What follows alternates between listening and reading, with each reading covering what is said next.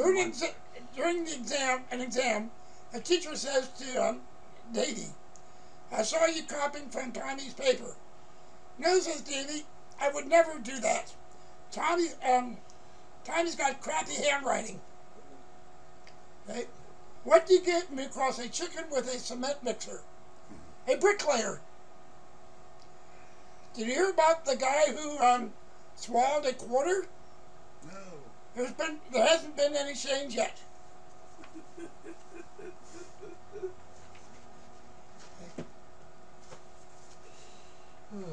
I tell you a time travel joke, but you didn't like it. I tell you a peanut butter joke, but you would just spread it. Yes. Did I tell you um, that I have a step ladder? I never met my real ladder.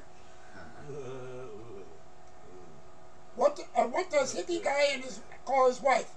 Mrs. Hippie. Mrs. is hippie. There you Okay.